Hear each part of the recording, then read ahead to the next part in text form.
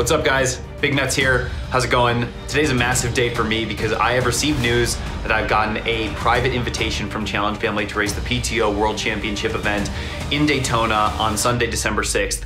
And that's massive news for me because if you followed along any of my training Tuesdays or on my social media, you've seen that I am dying to get into this event. It's gonna be the first of its kind with a million dollar prize purse. And uh, yeah, it's gonna have the absolute best athletes from short course ITU, middle distance 70.3, and Ironman. And I was just wanted to be there with all the guys and uh, just really see what I had on the day. So I am in, that's massive news. And so follow along on this YouTube channel because we're gonna dive into some of the work that it takes in order to get there in the best shape possible.